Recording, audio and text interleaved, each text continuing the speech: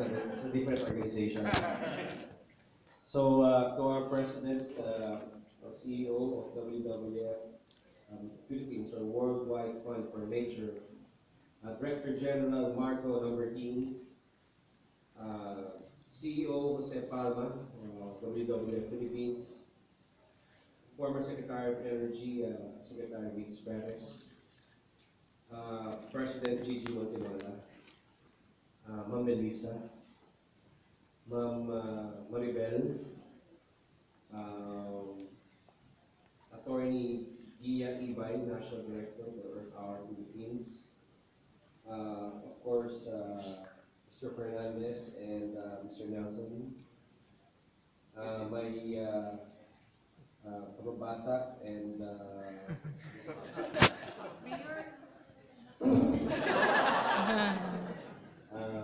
uh, Miss Mikey Kuwako Jaworski.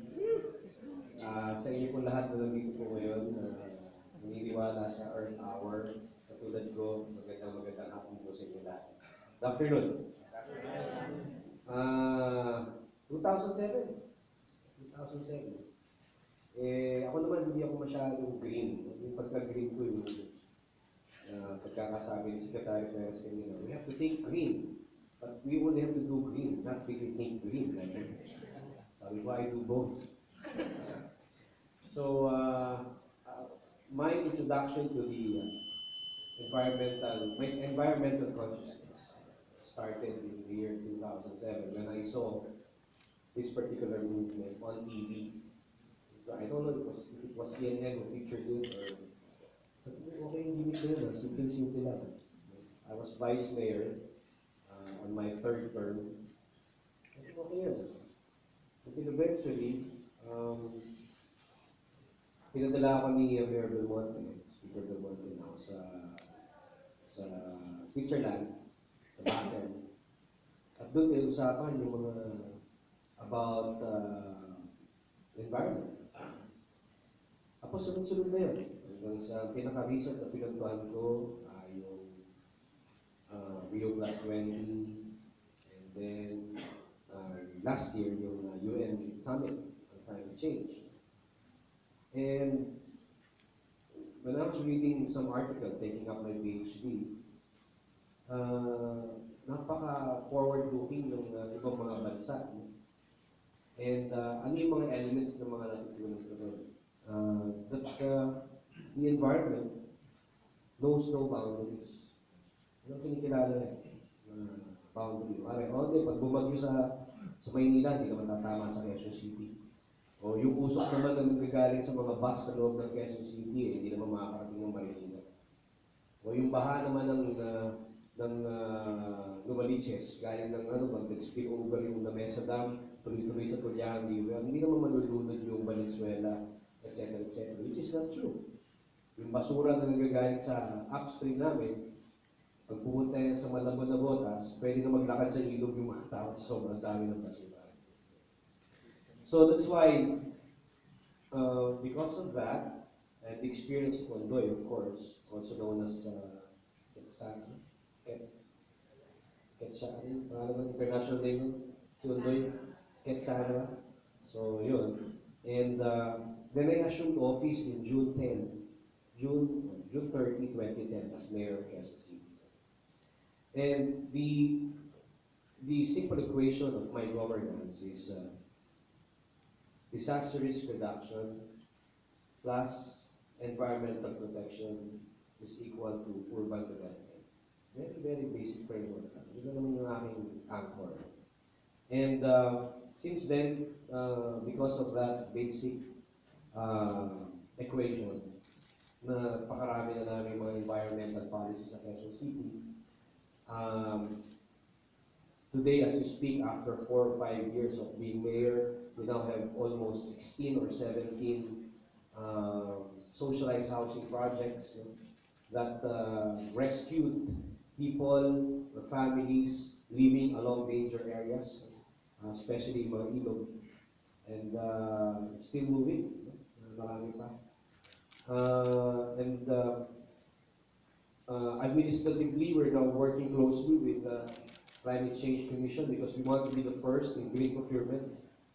No? Ang problema, baka sabihin may monopoly kasi may mga products na siya lang. Di ba? Tapos ang taas pa. Dahil isa lang siya. No? So, kung saan ako yung mga produkto, wala, um, halimbawa ay, uh, I, I don't know the products. Diba? Halimbawa, shampoo. Diba? For lack of better example. Isa lang, mahirap naman ilaban yun. Kailangan may bidding. Diba? Pero kung tatlong products, tapos ng shampoo, na pare-parehong environmental sound, aba, pwede mo natin pasok sa green procurement yun. So, that's where doon kami nasustol. But we're moving forward to the green procurement and we want Quezon City to be part of that.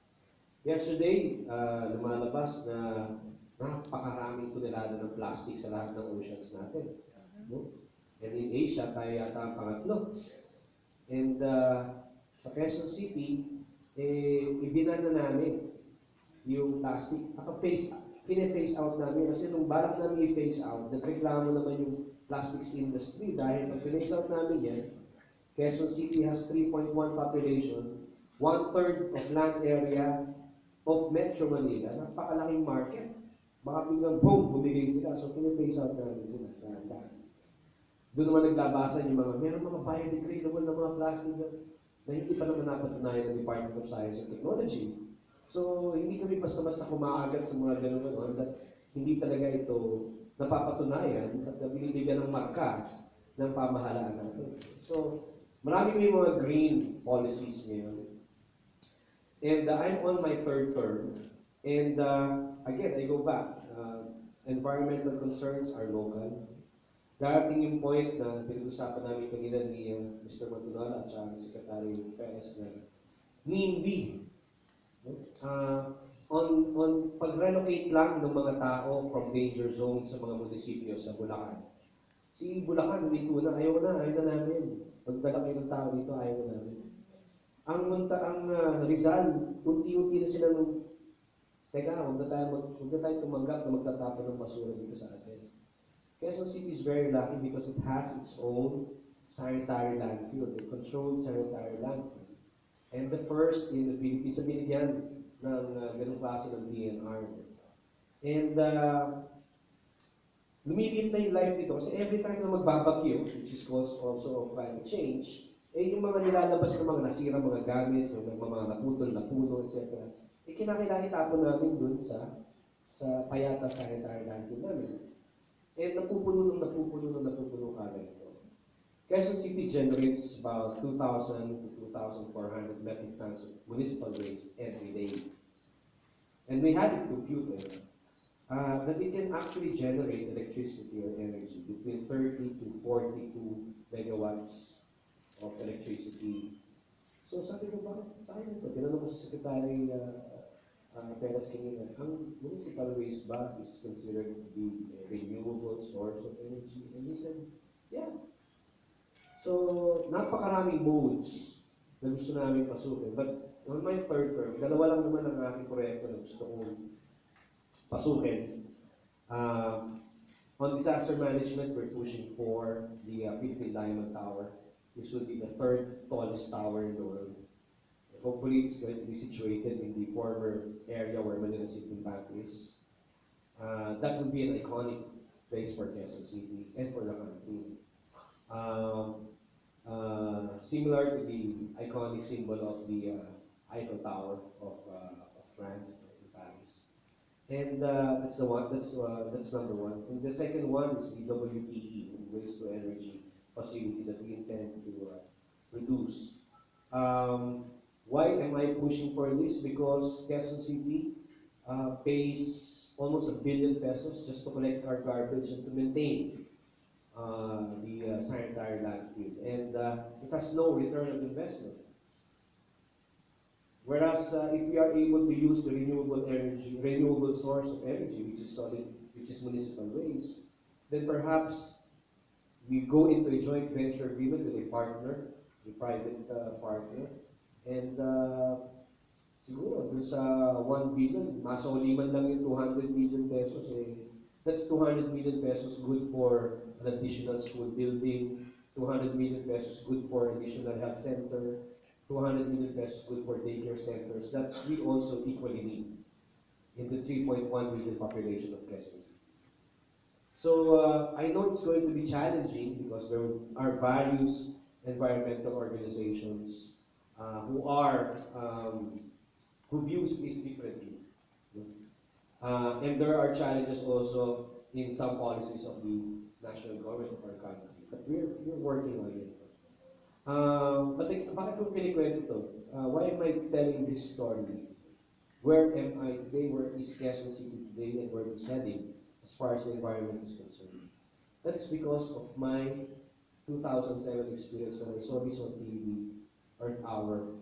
Sabi ko, napakasimpleng bagay, pero napakalakas ng impact. That's why when this was offered to us in Quezon City, and then I brought it to uh, Secretary Palma, and I don't know if it's related to uh, Mr. Palma. I hope they're not. no, um, I immediately said, sige, let's go for it. Tama-tama to, this is also in line with the year-long celebration of Quezon City's 75th anniversary.